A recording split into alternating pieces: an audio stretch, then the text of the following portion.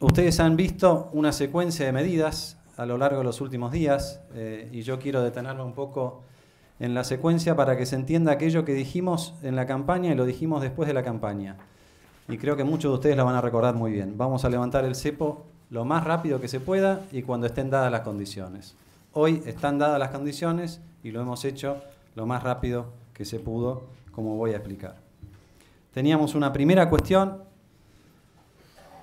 que se resolvió con el aporte de distintos sectores, eh, con el aporte, eh, por supuesto, del Banco Central y de la Secretaría de Finanzas, sobre todo, eh, de Luis Caputo, que era encarar esa bola de nieve de la administración anterior de 17 mil millones de dólares vendidos en el mercado de futuro, dólares que no existían y que esta administración va a tener que pagar. Resolvimos eso dentro de la ley, no se violó ningún contrato, como en otras experiencias en el pasado. Lo hicimos en el marco eh, de un diálogo con todos los sectores.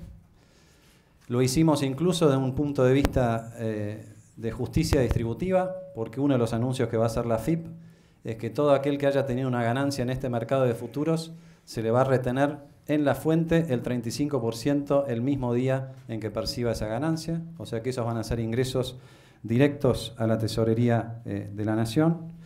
Eh, y lo vamos a hacer a través, aprovecho este momento para anunciar eh, el nombramiento de las nuevas autoridades en la Comisión Nacional de Valores.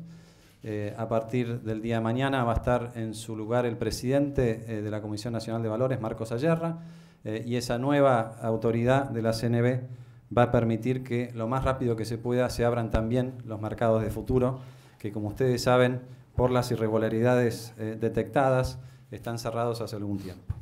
El que quiere exportar va a exportar sin pedir permiso, el que quiere importar va a importar lo que quiere importar, el que quiere comprar dólares los va a poder comprar, el que los quiere vender los, va a querer, los puede vender, nadie lo va a perseguir. Esto es como funcionan las economías normales en cualquier lugar del mundo. Y la lógica de ir normalizando la economía es volver a crecer y queremos volver a crecer para cumplir con ese primer eje tan importante de la campaña de Cambiemos, que es ir acercándonos cada vez más a una Argentina en la que no exista la pobreza. Entre nosotros decíamos que necesitábamos un ingreso adicional de 10 mil millones de dólares para tener la confianza de que podíamos efectivamente eh, levantar las restricciones cambiarias. Estamos trabajando, como ustedes saben, porque ha trascendido en distintos eh, medios periodísticos, en varias eh, vías de financiamiento al mismo tiempo. Estamos hablando con bancos extranjeros, estamos hablando con las cerealeras, eh, hemos llegado a acuerdos en muchos casos, estamos hablando con empresarios argentinos más allá de las cerealeras que están dispuestos a adelantar algunos fondos que tenían planeados para la inversión. Eh, hemos tenido un buen diálogo, más concretamente el presidente del Banco Central de Argentina ha tenido un buen diálogo con las autoridades del Banco Central chino que nos van a permitir transformar parte de los yuanes de las reservas en dólares para que esos dólares se puedan utilizar eh, no solamente para el comercio con China, sino también para otras, para otras finalidades.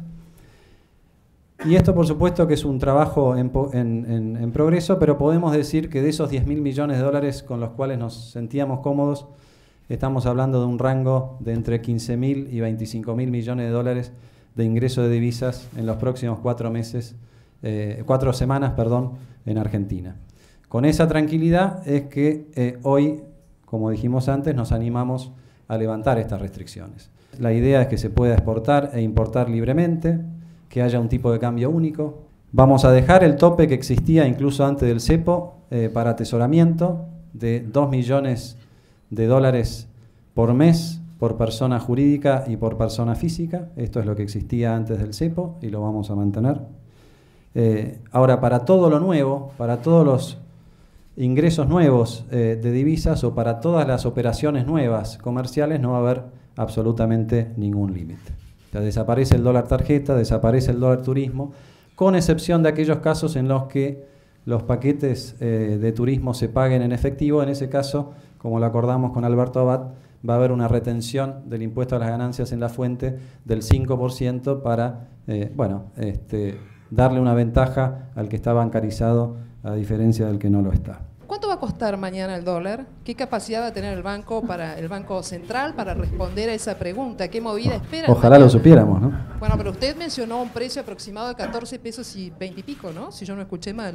No, eso es lo que está hoy el, el mercado más representativo, que es el mercado de contado con liquidación, que es un mercado legal, eh, transparente, eh, que tiene mucho mayor volumen que el mercado oficial y que hoy andaba por ese nivel de precios. Estamos muy tranquilos de que ninguna de estas eh, profecías que se hacían durante la campaña, cuando desde algún sector que competía en el balotaje decían que el dólar se iba a ir no sé a qué valores, eh, quédense tranquilos que eso efectivamente eh, va a quedar demostrado que fue una campaña de miedo eh, y no un pronóstico. Para marcar el parámetro a partir del cual vamos a tener la discusión de mediados de enero, de enero en adelante va a ser los precios vigentes al 30 de noviembre.